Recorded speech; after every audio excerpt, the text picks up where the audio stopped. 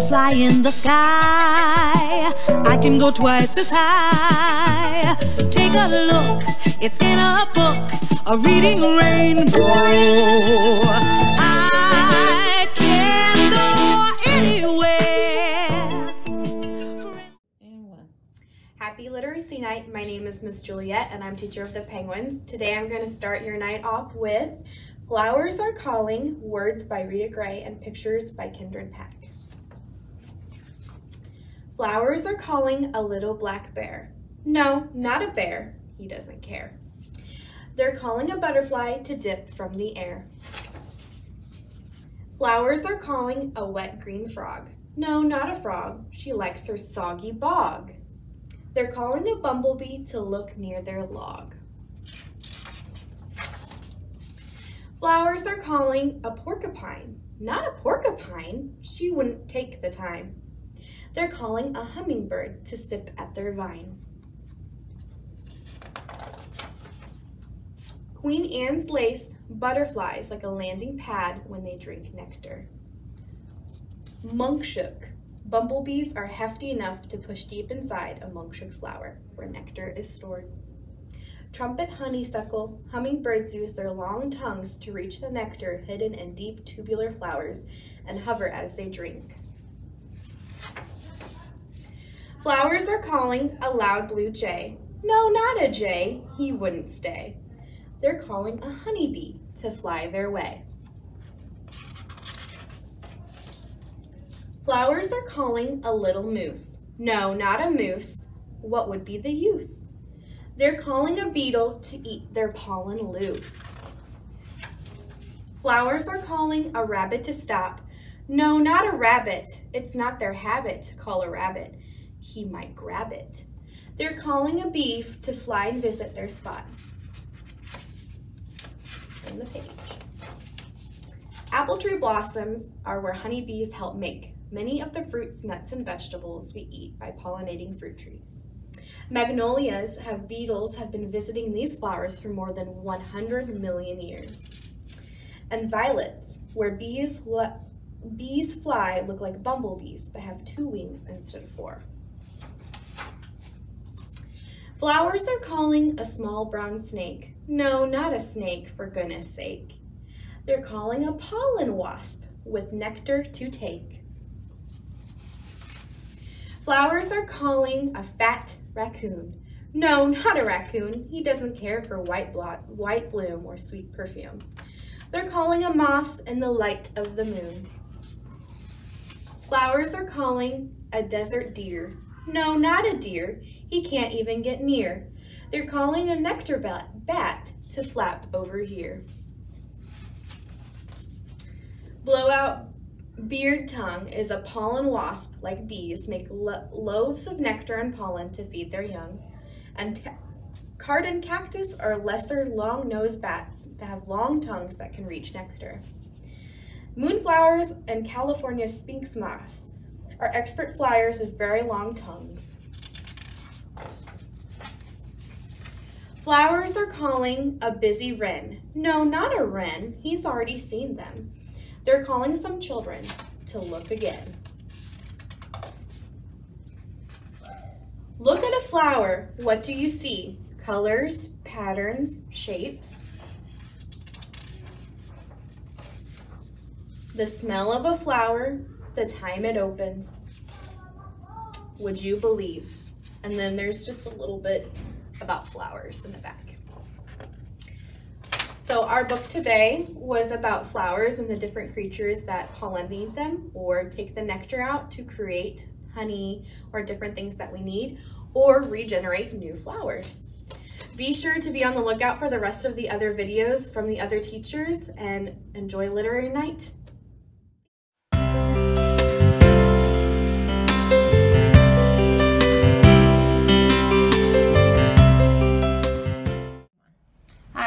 actually from the Hummingbirds Room, and I am going to read A Color of His Own by Leo Lionni. Parrots are green, goldfish are red. Elephants are gray, pigs are pink. All animals have a color of their own. Except for chameleons. They change color wherever they go.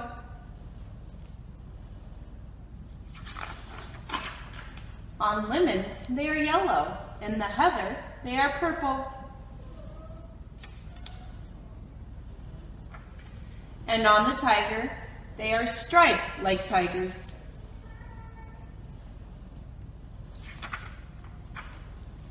One day, a chameleon who was sitting on a tiger's tail said to himself, If I remain on a leaf, I shall be green forever, and so I too will have a color of my own.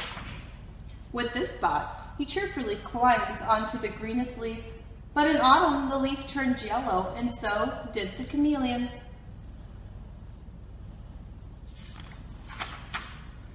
Later the leaf turned red, and the chameleon too turned red. And then the winter winds blew the leaf from the branch, and with it the chameleon. The chameleon was black in the long winter night.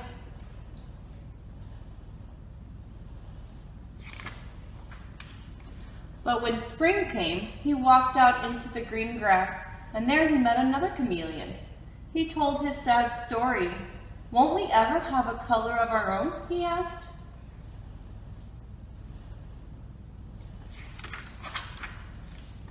I'm afraid not, said the other chameleon, who was older and wiser. But, he added, why don't we stay together? We will still change color wherever we go, but you and I will always be alike.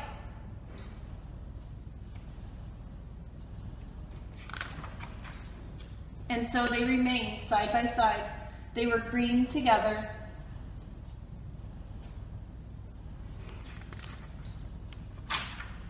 And purple. And yellow.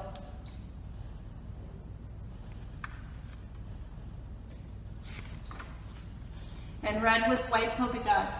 And they lived happily ever after.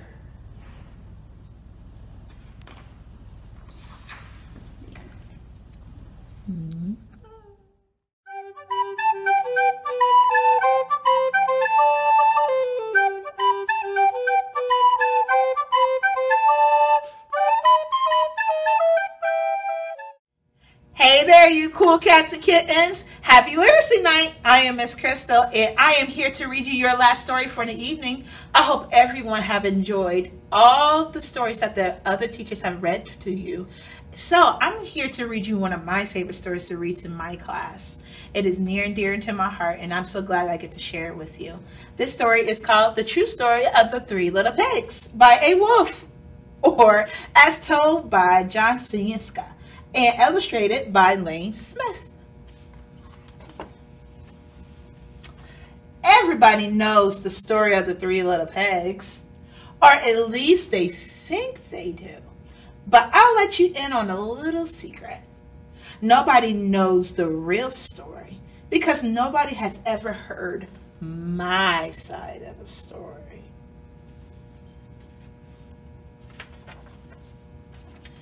I'm the wolf, Alexander T. Wolf. You can call me Al.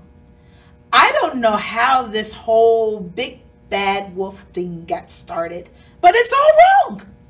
Maybe because it's our diet. Hey, it's not my fault. Well, wolves eat cute little animals like bunnies and sheeps and pigs. That's just the way we are. If cheeseburgers were cute, folks would probably think you were big and bad too. But like I was saying, the whole big bad wolf thing is all wrong. The real story is about a sneeze and a cup of sugar. This is the real story. Hmm. Let's see what happens. Way back in Once Upon a Time time, I was making a birthday cake for my dear old granny. I had a terrible sneezing cold. I ran out of sugar.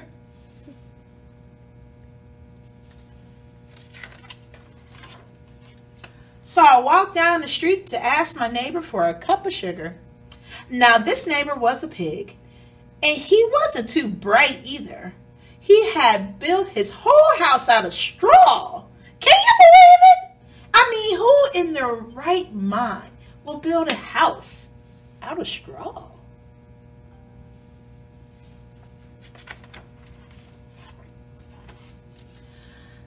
So, of course, the minute I knocked on the door, it fell right in. I didn't want to just walk into somebody else's house. So I called, Little pig, little pig, are you in? No answer. I was just about to go home without that cup of sugar for my dear old granny's birthday cake. That's when I start my nose started to itch. I felt a sneeze coming on. Well, I huffed and I snuffed and I sneezed a great sneeze. Said, shoo!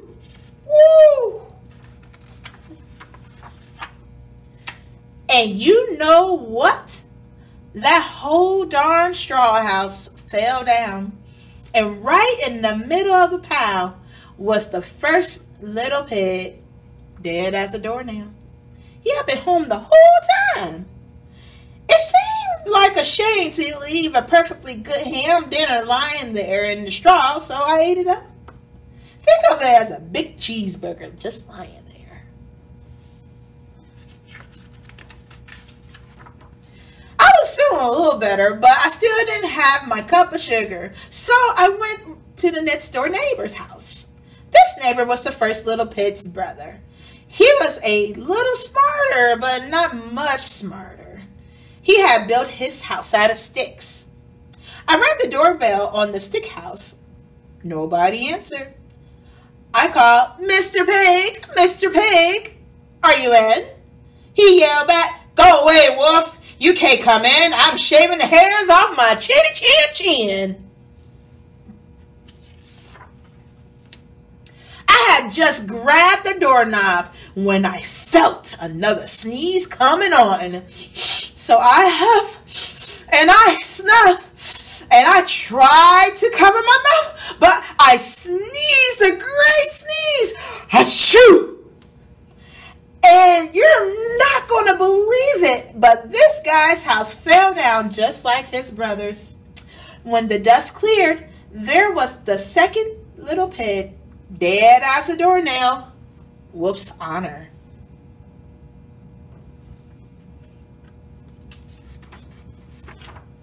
Now, you know food will spoil if you just leave it out in the open. So, I did the only thing that was the right to do. At dinner again. Think of it as a second helping. I was just, I was getting awfully full, but my cold was feeling a little better. And I still didn't have that cup of sugar for my dear old granny's birthday cake. So I went to the next house. This guy was the first and the second little pig's brother. He must not have been the brains in the family. He had built his house out of bricks. I knocked on the brick house. No answer. I called Mr. Pig. Mr. Pig, are you in? And do you know what that rude little porker answered? Get out of here, wolf. Don't bother me again.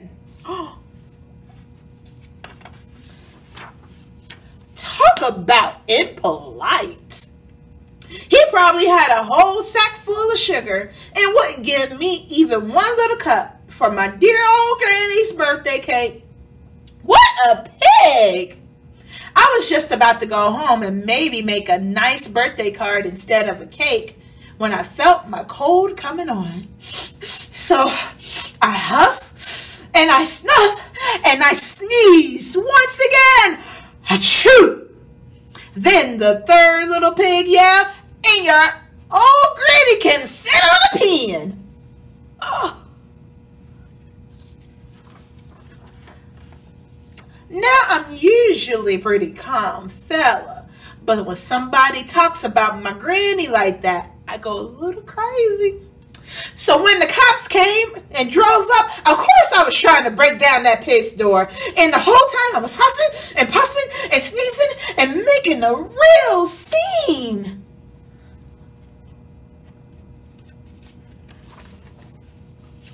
The rest, as they said, it's history.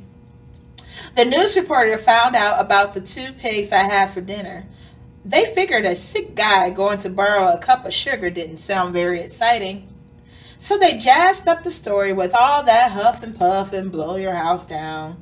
And they made me the big bad wolf. That's it. The real story. I was framed.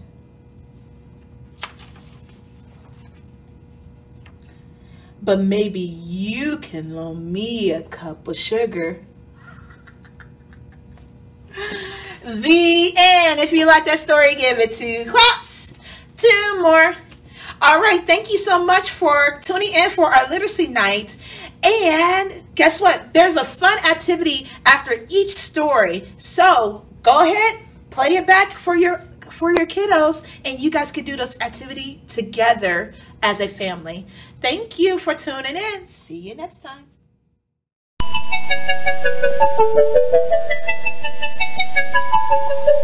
Butterfly in the sky, I can go twice as high. Take a look, it's in a book, a reading rainbow.